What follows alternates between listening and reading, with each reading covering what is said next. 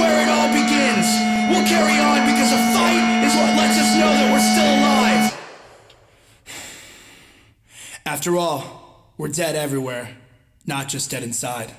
Dead Everywhere is the spoken word intro to the record. It's you're no longer dead inside, you're dead everywhere. And it was something that like you can just tell what someone's going through and how they wear it. You know, it's like no longer a hidden thing. Like when we were growing up, I feel like people are still struggling with their inner demons and you know, I, that's what violence was about for me. It was struggling with your inner demons and keeping to yourself and dealing with social anxiety and insomnia and, and subjects like that. And then this record's more about accepting who you are and you know realizing that everybody has chances to make faults but everyone also has chances to make right.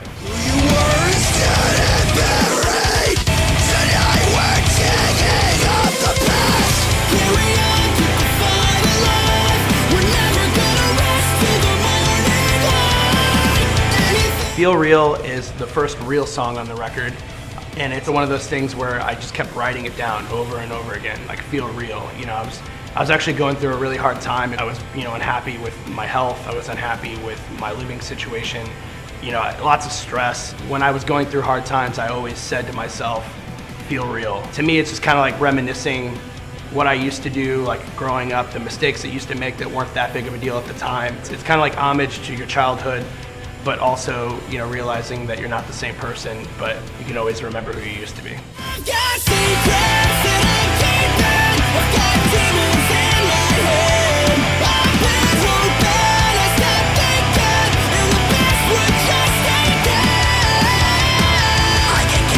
I've Got Secrets is touching base on the whole music industry.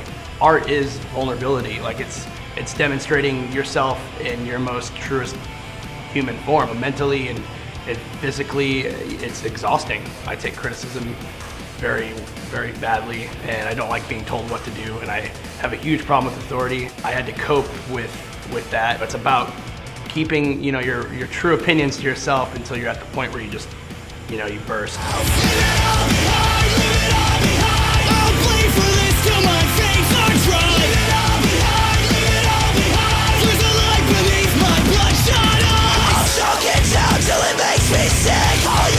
One of the most emotionally intense tracks on the record. Angry, it's dark, it's self-loathing. At that point, I mean, it, it was a, it was looking like you know everything was, my whole world was going to crumble around me. That I was going to lose everything that I've been spending the best, better part of a decade working towards. The line, I don't fear death, I fear the pain that it comes with. I'm not afraid to die.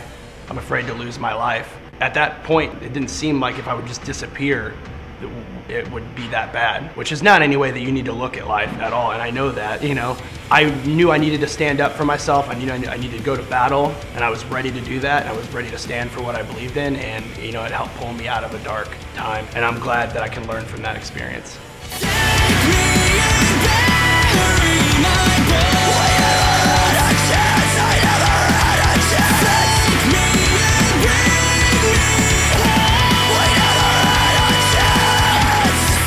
The Rejected is a track about society looking at you and expecting something from you and the reality is, is everyone has their flaws. You may see somebody walking down the street and criticize them for what they're dressed up as. Look deeper and you know don't judge somebody, don't think they're out of their mind, don't think that they're insane. Don't just because you don't relate to it or completely understand it. Give everyone an equal opportunity, give everyone an equal chance.